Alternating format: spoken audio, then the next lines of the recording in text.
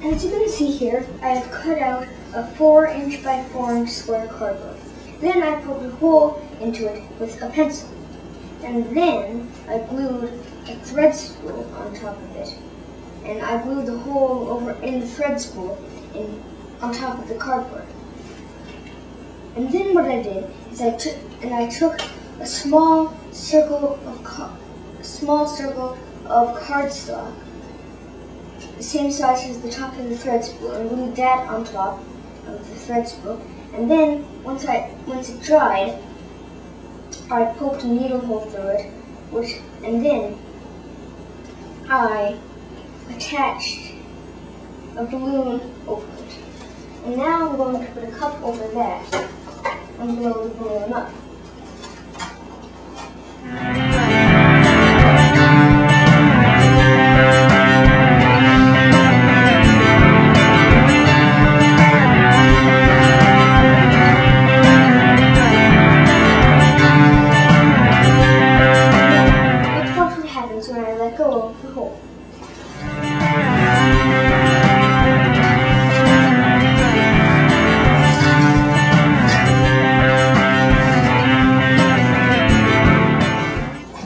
What happened is when the balloon air went through the when the balloon air went through the holes and um out, it created a thin layer of air between the cardboard and the table which reduced the fra- friction of it, allowing the, allowing the cardboard car to slide across the table much more easily than it would without the air.